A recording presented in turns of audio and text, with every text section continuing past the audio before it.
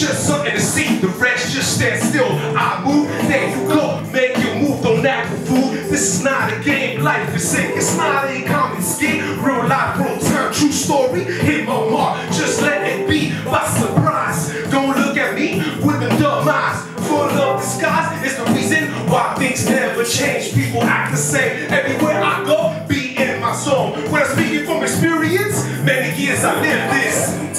Cause they don't know? Can I speak to the youth to uplift their soul? Can I speak to the streets back cause they don't know? Can I speak to the youth to uplift their soul? Can I speak to the streets back cause they don't know?